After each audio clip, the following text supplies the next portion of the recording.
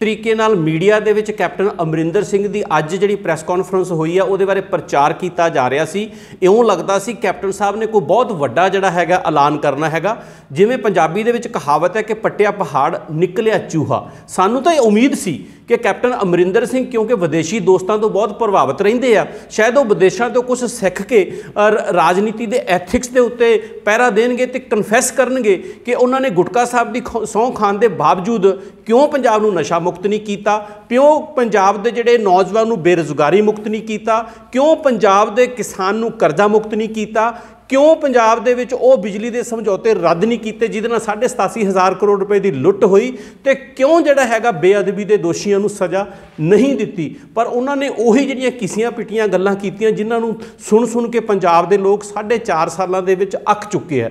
ਉਹਨਾਂ ਨੇ ਗੱਲ ਕੀਤੀ ਆਪਣੀ ਨਵੀਂ ਪਾਰਟੀ ਬਣਾਉਣ ਦੀ।